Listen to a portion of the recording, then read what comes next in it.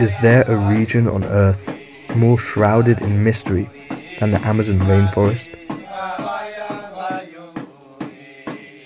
I've been fascinated with the indigenous tribes of Brazil for years. I now have the chance to get close and experience some of their unique traditions firsthand. These are members of the Tuiukas tribe. They live on the banks of the Rio Negro, just north of Manaus.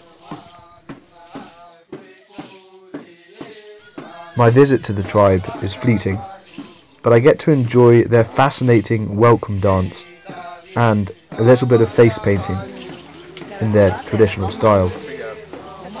The tribe members speak their native Tuiuka language, but can also speak Brazilian Portuguese.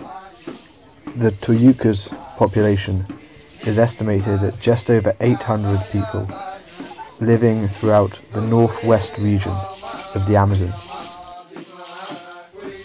I now travel north to Roraima, the most northern and least populated state of Brazil.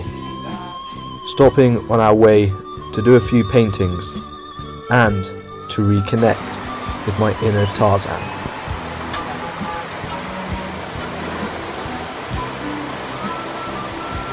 Check out part 2 to watch my exclusive interview with Makushi Page